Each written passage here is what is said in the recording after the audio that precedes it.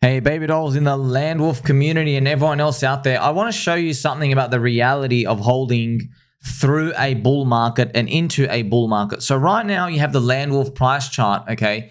And it is rinsing Jeets once again. There's five times rug attacks, five times vampire attacks. Everyone out there trying to cheat each other out, but the community is still strong, still cranking out the memes. We're not going anywhere. Everybody out here still keeping a positive attitude. You believe in something. Remember, Landwolf is Pepe's best friend.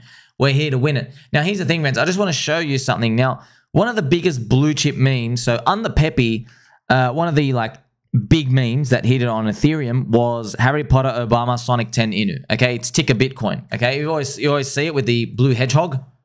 And if you go through Twitter, you can see it as well. So I don't even know if this is AI. You just have this is just basically going nuts. This is the hat. That's actually funny. Wearing a hat like me. That's cool. Just going through these friends. Say Harry Potter, Obama.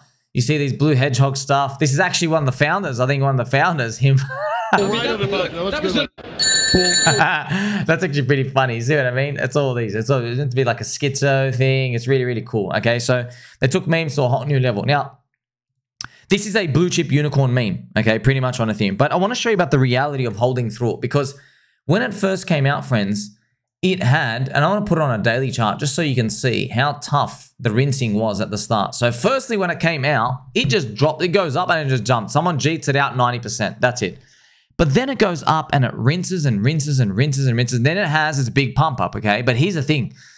It peaked, friends, in August of last year. So if you have a look at it, what it's been doing now, I just want to show you the reality of this. This distance, all right, it's literally gone nowhere for 287 days, nine months. That's crazy, right? And actually, friends, you want to see the real chart?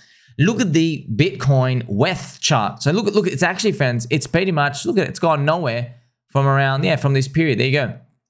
Almost one year.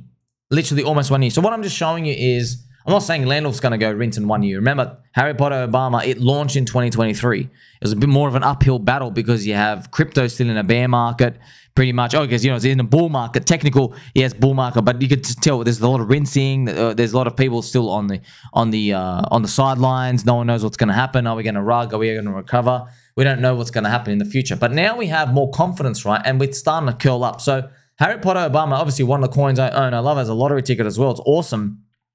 But I'm just showing you, right? When you're looking at Landwolf, now you can just see a different lens. Okay, so this is what I was able to achieve in a very, very short amount of time, friends. Pretty much a very, very short amount of time, 80, 90 days, three months. But this, this is what happens, friends, in markets. You see people just exit and then it takes a couple of people to like rinse them out, rinse them out. They, they sell, they market sell, they go buy other stuff moving up and then just get chewed up and gobbled up. It's a standard game over and over again. Eventually, though, you've cleared enough people. You don't know how much it's going to take. You don't know when. You just know that, okay, if you keep pushing towards a common goal, towards basically adoption, basically keep cranking out memes. The community just hangs around. If you're just pushing around there, just survive. Friends, it's all about survival. Just survive.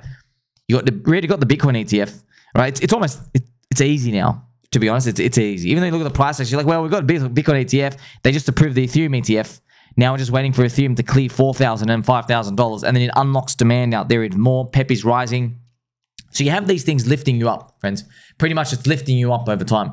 Okay, so I just want to show you this. This is what many of your coins are going to go through. I'm just using this as an example of what actually happens in crypto because when you go back and look at uh, someone's results from a stock. Okay, I made I mean like X amount on this. Yeah, but you don't know like okay, there was literally like you know one and a half years of this up and down, one and up, and then after this one and a half years, there was like this like final sixty day period where everything started moving.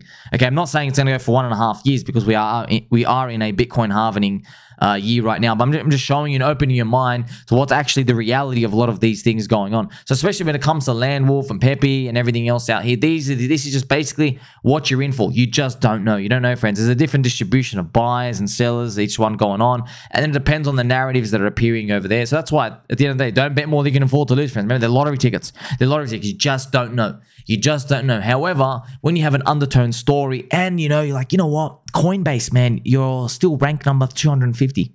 300. You're not top 10 in the world from the App Store. You know, the Ethereum ETF hasn't even opened yet. You know what I mean? It's coming, it's opening for trading. You see, these are the things you can always look forward to. That's bull market anxiety. That's actually what you want. You're climbing the wall of worry, and eventually you get to see how far you go. Hopefully, we are all, all amongst the stars. I'm still waiting for a meme coin to hit 100 billion market cap and just make everything under 500 million look cheap. That's what I want to see, friends. I want to see that.